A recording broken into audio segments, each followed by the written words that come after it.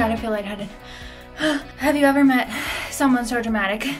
Today I am trying the Dermavel Plasma Pen. It claims to painlessly remove unwanted skin imperfections and blemishes. Among the listed imperfections are tattoos, moles, skin tags, freckles, warts, granulation, and nevi. Although it claims to be safe and painless, I honestly do not trust myself or this pen to use on anything besides skin tags, so that's what I'll be trying it on. I go to the dermatologist to get my skin tags removed, but the Dermavel Plasma Pen claims to take the dermatologist and the cost of a visit out of the picture. Obviously, if this is something that you want to use, you should check with your doctor to make sure they think it's okay. I ran it by Dr. Karan Lal, who was skeptical but said I could try it at my own risk, only on a true skin tag. So I sent him a picture and he confirmed that what I thought was a skin tag was. The kit comes with three coarse needles, 10 fine needles, and a needle guard.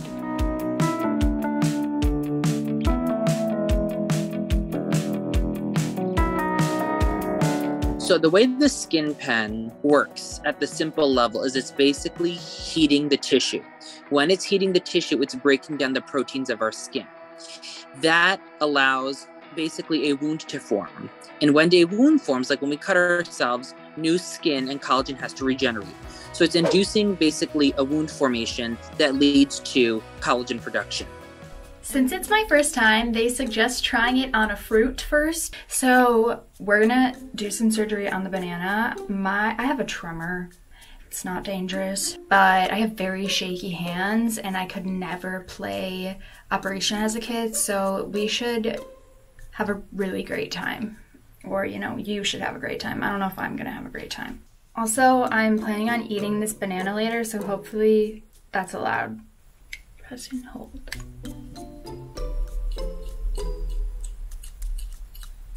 I don't hear noise or like see sparks or anything. And I was expecting like something to happen, but I don't know. I'm gonna throw this needle away. Still tastes great. So I drew a circle around the skin tag so I would not lose it because it's kind of hard to see. Okay, you're supposed to use gentle strokes going back and forth. Okay, level one, holding this. Oh, I'm scared.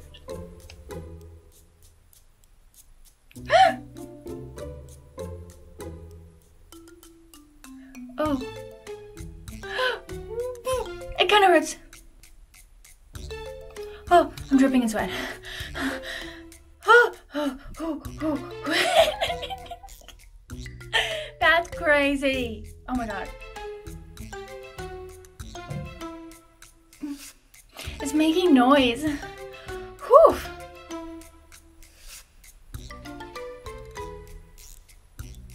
Why? Why are my eyes watering? Oh my god, I feel lightheaded. Have you ever met someone so dramatic? Okay, we're gonna give it another go around because I think it's still there. And it, I don't know, it does sting for sure.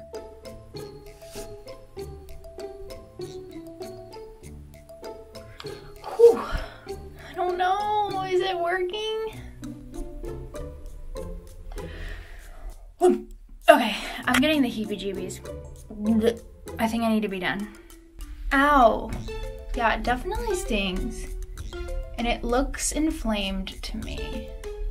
I don't honestly think it looks any different otherwise besides being inflamed. So I would not recommend the plasma pen or do-it-yourself plasma pens for at-home use or even in-office use for a lot of people.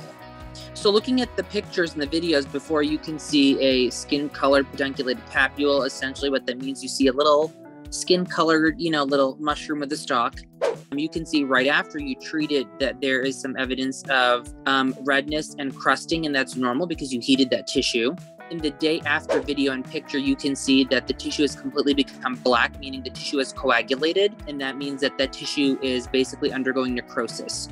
So it is impending falling off. I personally don't recommend this to be done in the office or at home. So while you may see that there are claims of the plasma pen saving you money because you can do a lot of these things at home, in reality, if you end up with hyperpigmentation or scarring, which is a very well known side effect, even if it's done by an esthetician or a physician in the office, you could end up with a larger problem. I definitely do not think the plasma pen is safe.